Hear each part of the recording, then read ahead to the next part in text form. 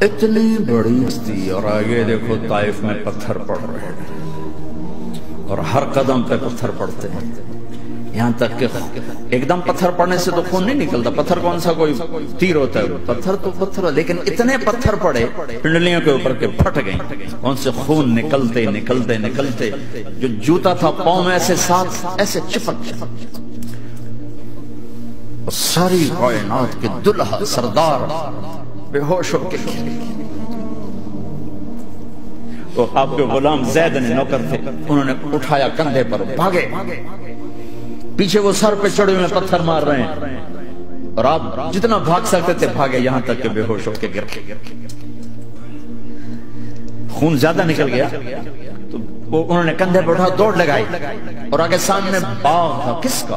سب سے بڑے دشمن کا مکی والی۔ اتبا بن ربیع اتبا کون ہے؟ یہ جنگ بدر میں جس کے ہاتھ میں جھنڈا تھا۔ اور جنگ بدر میں قریش مکہ کے لشکر کا جو چیف تھا، وہ اس کا باغ لیکن زید کو کوئی پناہ نظر نہیں باغ میں گھس گئے۔ اور اللہ کے نبی کو ایک انگور کی بیل کے نیچے لٹائے۔ تو جان کا دشمن عطبہ لیکن جب اللہ کے نبی کو خون و خون دیکھا تو اس کا دل بھی پگھل کے رہ گیا۔ کہنے لگا، ہائے ہائے، طائف والوں نے محمد کے ساتھ کیا کر جس پر دشمن کو رحم آیا، ہمیں اس پہ رحم نہیں آیا۔ ہم نے اس کے آنسوں کی کوئی قیمت نہیں لگائی۔ وہ اتنا ایموشنل ہوا کہ جلدی سے گیا اور پلیٹ میں انگور توڑ توڑ توڑ کے سجائے۔ جب جانے لگا تو پھر شرم اور وہ ایک حجاب درمیان میں آڑے آ گیا تو اپنے غلام کو بلایا۔ عداس کا عداس کی لے جا۔ وہ جو آدمی زخمی پڑ اسے جا کر کہنے کہ تمہیں رشتہ داری کی قسم، میرے انگور رد نہ کرنا کھا۔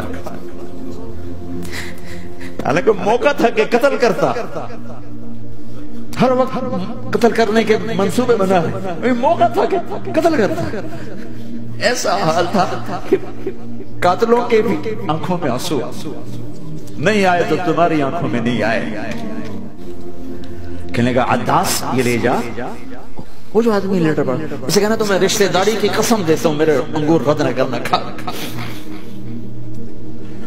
عداس آئے اور آ کر انگور پیش کیے تو اب نے ایک انگور اٹھا کر بسم اللہ۔ تو عداس کہنے لگا، یہ لفظ یہاں تو لوگ نہیں بولتے۔ آپ نے پوچھا، تو کہاں کا ہے؟ کہ میں نین ہوا کا اچھا میرے بھائی یونس کے شہر کا۔ یونس علیہ السلام۔ وہ کہنے لگا ما ادراک ما یونس؟ آپ کو یونس کا کیسے پتا ہے؟ تو آپ نے فرمایا، میں اللہ کا نبی ہوں۔ وہ بھی اللہ کا نبی۔ تو عداس نے ایک دم آپ کے پاؤں پکڑے اور چومنا شروع کیا اور کلمہ پڑھ لیا۔ تو آپ کو اپنے سارے زخم بھول گئے۔ پھر جو آپ نے اللہ سے بات کی ہے نا، آئے ہائے ہائے ہائے کیا اللہ پاک کے سامنے؟ اللهم اشكو اليك ضعف قوتي وقله حيلتي وحواني على الناس۔ اے میرے رب، آج تو سے گلا نہ کر آج تو سے گلا نہ کر تو نے مجھے کن کے حوالے کر دے تو نے مجھے کن کے حوالے کر دے الى عدو ملقته عمري او بعيد يتجحم ایسے دشمنوں کے حوالے تو نے کیا جنہوں نے میرا یہ حال کر دیا۔ تو اس سے کون سا چھپا ہوا ساتوں آسمان لرز گئے، عرش کانپ اٹھا۔ اور جبریل فرشتے کو لے کر ایک سیکنڈ کے کروڑ میں حصے میں حاضر، یا رسول اللہ، حکم فرمائیں اتبق علیہم الاخشبین یہ دو پہاڑ اٹھاؤں گا اور یوں ایسے چکی کی طرح یوں کر دوں گا۔ نبی رحمت نبی رحمت نبی رحمت۔ ارے تم تو آپس میں رحمت نہیں رہے ہو، ایسی فرقہ واریت کی آگ میں جلے ہو کہ ایک دوسرے کو سلام کرنا چھوڑ گئے ایک دوسرے کے پیچھے نمازیں پڑھنا چھوڑ گئے یہ کون سا اسلام ہے؟ حضرت عائشہ نے پوچھا، یا رسول اللہ، آپ کو سب سے زیادہ تکلیف کہاں پہنچی؟ کب طائف۔ طائف۔ تیئیس برس میں سب سے زیادہ تکلیف کہاں پہنچی؟ فرمایا، طائف جنہوں نے اتنی زیادہ تکلیف پہنچائی تو ان سے بدلہ لینے کا وقت آ گیا ہے۔ اور فرشتہ حاضر ہے، اللہ کی منشا شامل ہے۔ کر دوں؟ نہیں۔ یہ نہ صحیح، ان کی نسل میں شاید کوئی ایمان دے آئے۔ لعل اللہ ان یخرج من اصلابہم من یوحد.